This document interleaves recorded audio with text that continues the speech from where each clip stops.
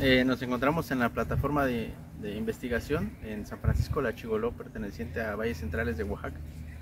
Este es un sistema de labranza convencional tal como lo hace el productor, el cual consiste en, una, en un paso de barbecho, eh, rastra eh, y posteriormente la siembra.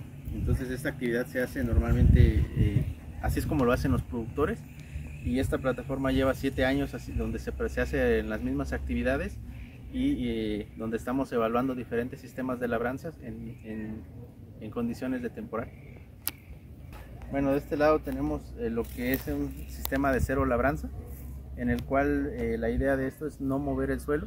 A lo largo de siete años no se ha perturbado el suelo y de alguna manera esto ha generado que el suelo se vaya, se vaya componiendo de manera natural este, se hicieron eh, algunos algunas análisis de, diagnóstico en donde se pudo determinar que en estos suelos convencionales pues eh, se mantiene lo que es un piso de arado, a diferencia de un sistema bajo, agricultura de conservación en donde el suelo se empieza a, descompactar de manera natural y a su vez eso nos ayuda a preservar un poco más este, la humedad a pesar del periodo crítico que, estamos pasando. Este año fue un año muy, muy seco, en el cual tenemos un registro de 226 milímetros de, lluvia distribuidos de manera errática y, digamos estos son los, efectos, ¿no? A pesar de que eh, llovió poco, el desarrollo se ve un poco mejor en el sistema de, bajo un sistema de agricultura de conservación.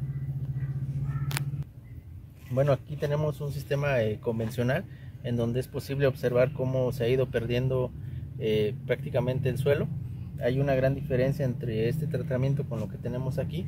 Este tratamiento es un sistema de, cero labranza con cobertura, en el cual el principal, este, lo que estamos buscando aquí es, eh, es preservar lo que es suelo y como es posible observar aquí, pues eh, se mantiene ¿no? La, el, el, suelo, no, no hay tanta degradación, no hay tanta pérdida a diferencia de este lado donde tenemos un, sistema convencional en donde por erosión, eh, tanto por, agua como por, aire, hemos ido, hemos ido perdiendo gradualmente eh, este suelo. ¿no? El rendimiento más alto que hemos, hemos eh, obtenido es de 4.7 toneladas por hectárea en un, en un, buen año, entonces este, es importante comentar que este año sí fue muy seco, eh, con 226 eh, milímetros, que es insuficiente para, para, poder este, llenar grano. La plataforma tiene 7 años, más sin embargo eh, llevamos ya 8 en, este espacio. Este, trabajamos este, únicamente con maíz nativo, con el maíz criollo local de la raza bolita. Entonces este, hemos, hemos trabajado con esta con esta variedad porque es endémica de la localidad.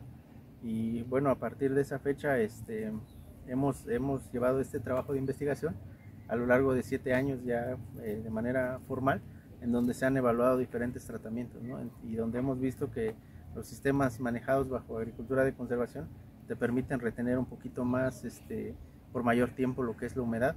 Y pues a su vez también nos permite asegurar este, un poco de, de grano o en este caso este, pues zacate, ¿no? Ya sea para uso comercial o, o para uso este, como cobertura, ¿no?